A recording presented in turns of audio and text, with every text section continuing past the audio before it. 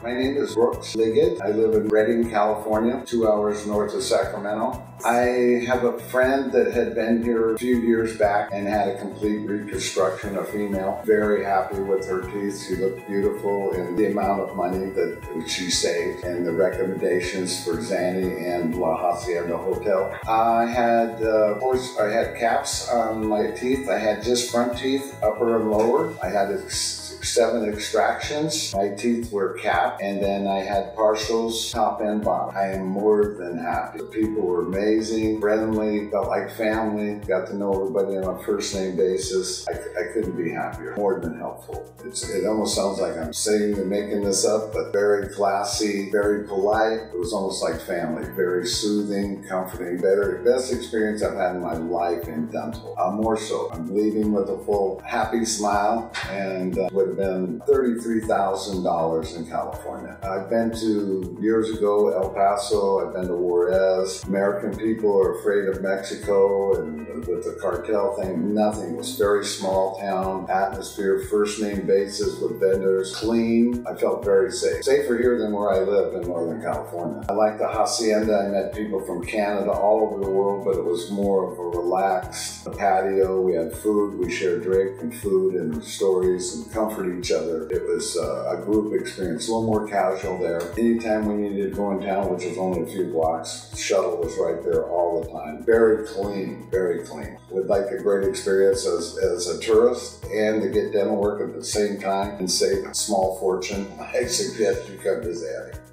Got questions? We would love to hear from you in the comment section below. Tell us what else you want us to cover.